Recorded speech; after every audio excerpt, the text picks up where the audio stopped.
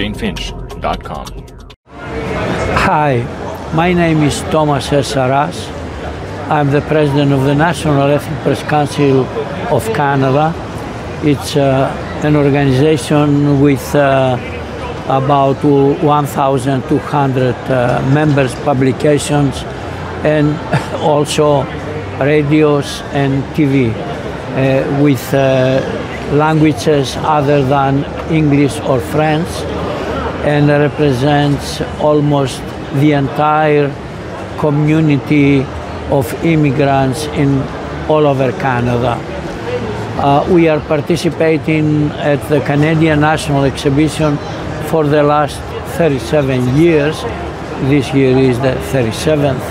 And uh, we developed over the years relations with uh, the exhibition and also the entire Canadian community in order to promote the rights of the, of the special communities, the linguistic communities of the country.